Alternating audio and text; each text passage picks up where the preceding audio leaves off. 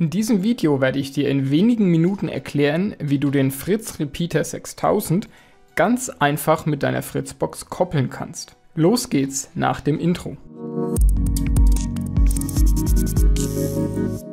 Am besten ist immer, wenn man den Repeater im Werkszustand hat. Das heißt, wenn du ihn gerade aus der Packung genommen hast, so wie ich, ist er ja schon im Werkszustand und du kannst direkt mit dieser Anleitung hier fortfahren. Ist er noch nicht im Werkszustand, würde ich empfehlen, 15 Sekunden lang die Connect-Taste zu drücken und einmal zu warten, bis er wieder im Werkszustand ist, der Repeater. Das beugt schon mal alle möglichen anderen Fehler vor, zum Beispiel die durch eine Vorkonfiguration einfach schon reingekommen sind. Ist alles soweit vorbereitet, dann verbinde ich den Repeater einmal mit dem Strom. Wir müssen jetzt ein paar Sekunden warten, bis der Repeater hochgefahren ist. Die Blinkfrequenz der LED auf der Vorderseite, die verrät uns, ob der Repeater bereit ist zur Kopplung. Während des Hochfahrens blinkt sie relativ schnell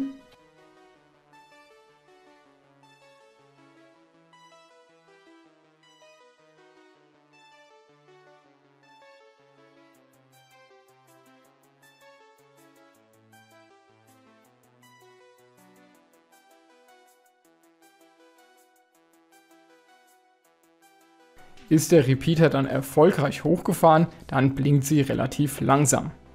Ist das der Fall, kann ich mit dem Kopplungsvorgang beginnen.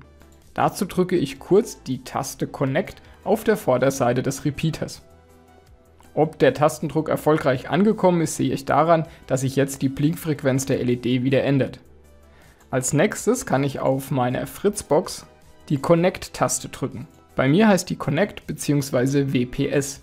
Wenn du eine Fritzbox hast ohne diese Connect-Taste, dann musst du die WPS bzw. WLAN-Taste länger drücken, nämlich 6 Sekunden, so lange bis das WLAN blinkt. Wir sehen jetzt, dass beide Geräte fröhlich blinken und wenn beide dauerhaft leuchten, dann wurde die Verbindung erfolgreich hergestellt. Um zu prüfen, dass da auch alles mit rechten Dingen zugegangen ist, kann man sich nochmal in seine Fritzbox Web-Oberfläche einloggen und schauen, ob die Geräte gekoppelt sind, mit welcher Geschwindigkeit sie synchronisiert sind und ob das Mesh-Symbol an beiden Geräten zu sehen ist. Wenn dir das Video gefallen hat, dann freue ich mich an dieser Stelle wie immer über ein Abo und über einen Daumen nach oben.